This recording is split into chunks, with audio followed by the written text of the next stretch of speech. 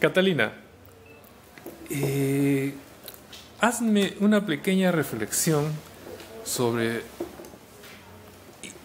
tu experiencia aquí en el proyecto de Hiperbarrio Convergentes.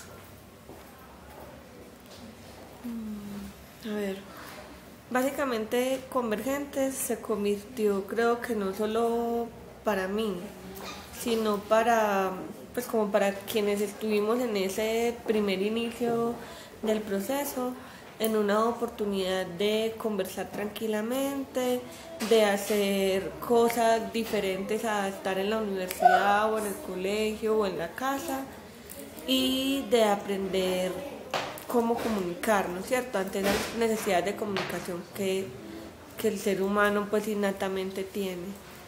Entonces, pues la reflexión básica que yo hago cada vez que me preguntan es el tema de que de, a partir de Convergentes se reivindicó lo humano.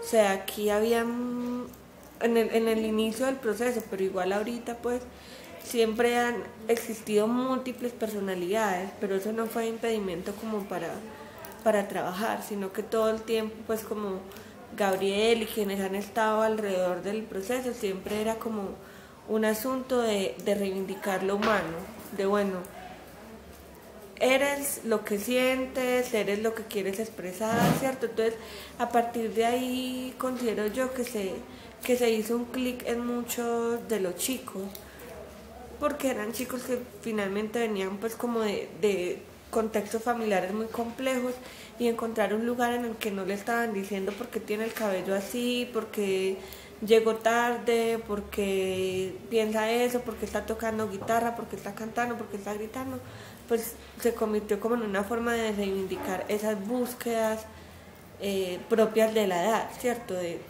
que en, esa, en ese momento teníamos que 14, 15 años.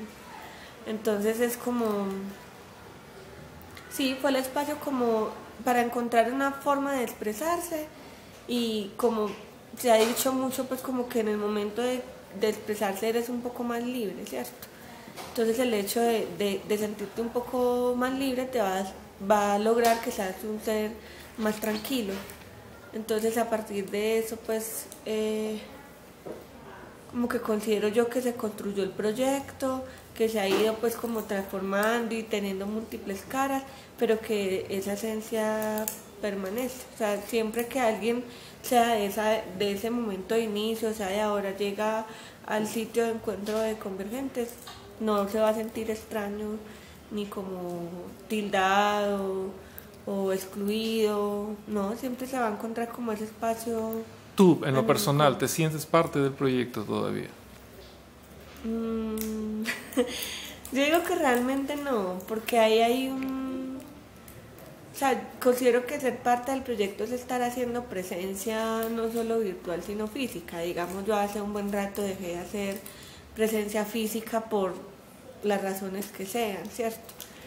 Y, y ser parte de un proyecto pues también es, implica estar tomando parte en las decisiones que se toman y estar ahí dando ideas. Y hace mucho rato que yo no, no lo estoy, pero sí, sí sigue siendo como, como ese lugarcito ahí en el corazón, entonces uno de vez en cuando chismosea que han publicado, eh, que han escrito, en qué se están moviendo eh, qué está pasando con la loma, entonces es como ser parte, parte no.